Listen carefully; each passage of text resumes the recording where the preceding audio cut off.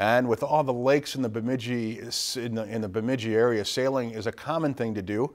A casual sailing regatta will take place on Sunday as part of the Water Carnival's festivities. Now racers will compete in multi-hull or C scow boats.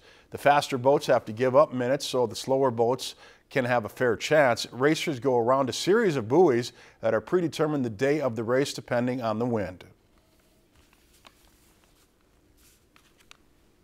We're expecting light to medium winds, so it's a perfect day for beginner sailors, intermediate sailors, and it's usually about an hour and a half to two hour race.